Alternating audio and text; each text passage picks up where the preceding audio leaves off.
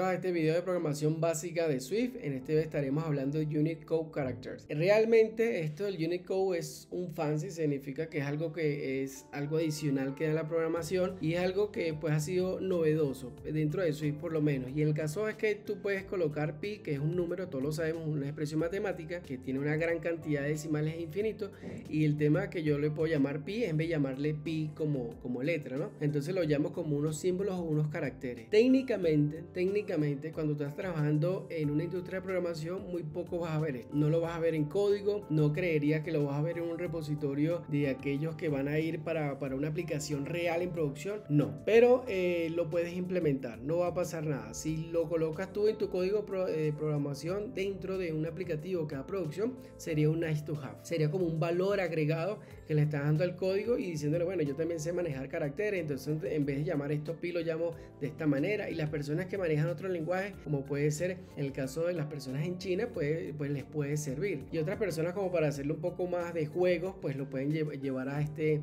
digamos, modo. Entonces, en producción o en, aplicaciones reales muy poco se ve y en mi experiencia muy poco lo veo. Y pues eh, si lo quieres colocar en tu código, pues sería un nice to have y sería un buen challenge para incrementando, digamos que algunas partes del código cuando alguien la vaya a leer. Esto sería todo por la parte de Unit Code Characters y nos vemos en el siguiente video.